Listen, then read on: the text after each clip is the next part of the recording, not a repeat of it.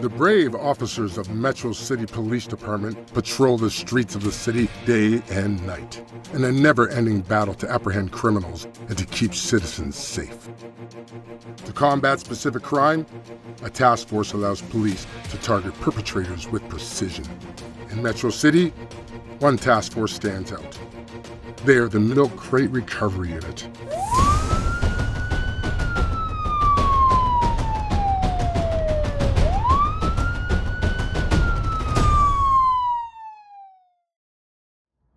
The elite team of MCRU officers is led by Department veteran Sergeant Mike Oxor. The MCRU was created last year. Our new mayor is a local dairy producer, and he brought it to the attention of the chief the true cost of milk crate theft. City Council passed a law shortly thereafter making milk crate theft and possession of milk crates a felony crime. The task force was created specifically to target those criminals and to recover stolen property. You know, I've been with the MCRU right from the start. Huh? It's a small unit, but it's not the size of your unit. This is important as we can do with it, huh? You know, we do a lot of good out there. Now, I hear some people, they'll say, it's just milk crates. What's the big deal? And I say, yeah, for now. Let me tell you something milk crate theft is a gateway crime. It starts off as a milk crate here, milk crate there. The next thing you know, it's a shopping cart. Then it's a forklift. Where does it end? Hmm?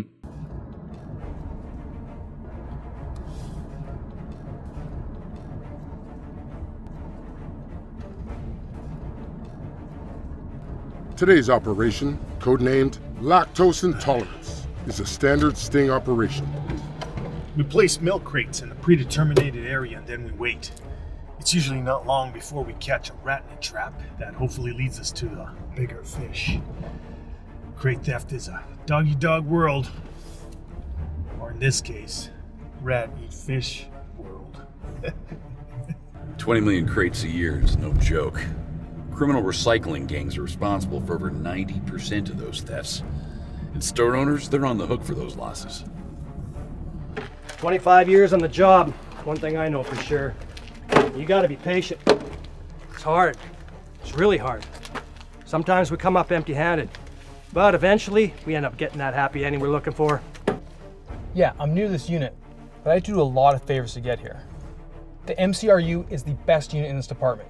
They see the most action, they have the highest arrest numbers. I'm just looking forward to busting some scumbags. I love catching them with their pants down. Sergeant Mike Coxor watches from a distance while the other officers of the MCRU wait close by.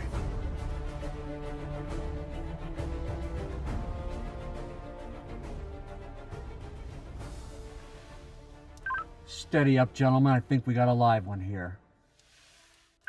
We're in position. Doesn't take long before the crate bait grabs the attention of an unsuspecting passerby. Go, go, go, go, go!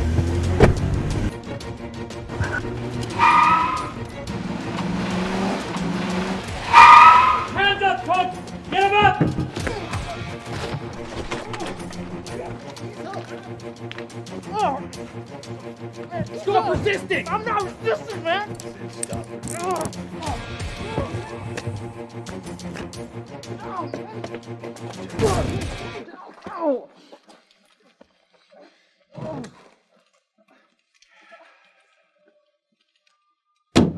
Can you read? What? Can you read English, dumbass? Yeah, man, of course I can read. What does that say? Read it! Use by other than registered owner prohibited by law. Are you the registered owner of this milk crate? No, man. I knew it. And that's why you're going to jail. Get this filth out of my face. Hey, that hurts, man. Yeah, crowd of your mom.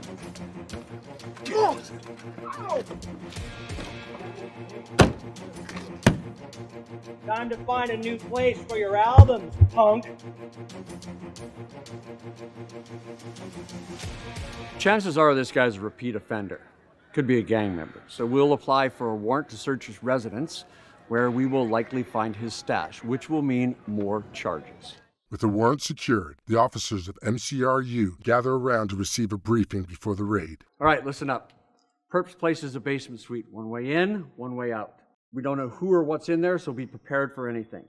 You go through a door and you find out. Everybody knows their job. Relying on team members is something we do every day. Relying on team members gives you the confidence to do your job so that your team members can rely on you. Anybody we find in there gets cuffed up.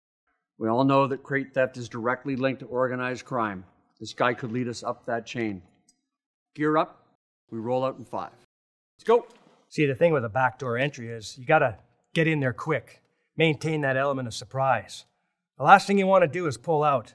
Just makes it all the more harder to get back in there. Kicking in doors is all part of the job for the MCRU. They put their lives on the line every day, fighting the endless battle against the city's criminals. The team prepares for the worst.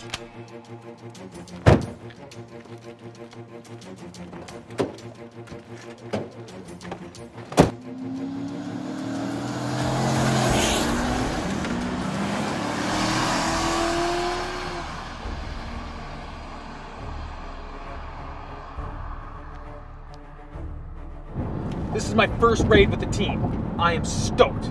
Adrenaline is pumping. I'm ready to take down some bad guys. We go two in the front, three in the rear. Hard and fast. That's how we like to do it. What you hope for is that none of the unit gets hurt. You gotta have each other's backs. You take every precaution to make sure that nothing gets past you.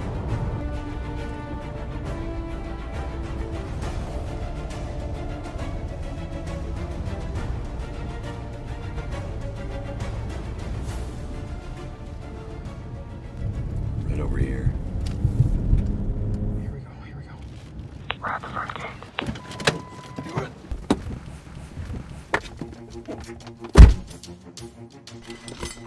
The team arrives at the home of the perpetrator and prepares to make a dynamic backdoor entry.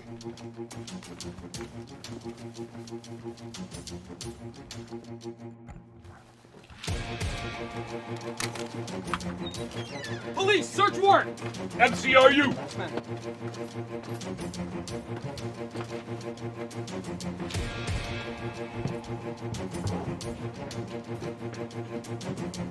Hands! Let me see your hands! MCRU! Hands! Okay, okay, I didn't do anything.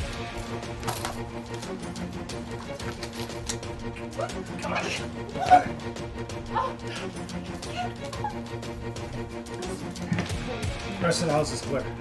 Sarge, in here. Get her out of here. What do we got?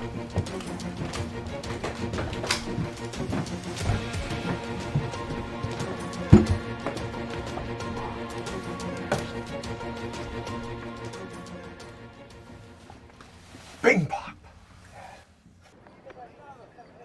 Every crate carries a one year prison term. Turns out the girlfriend's name is also on the lease, so we'll have both of them charged with multiple possession counts. All in all, a good bust. Two prolific offenders behind bars, and we recovered nine crates. Street value 50 to 100 bucks. All in a day's work for the brave officers of the Metro Police Department's Milk Crate Recovery Unit. Milk crate theft exceeds $80 million per year in the U.S. Crate theft increases emissions due to manufacturing and petroleum production and drives up the price of milk for the consumer. Crate theft is a crime. Don't do crime.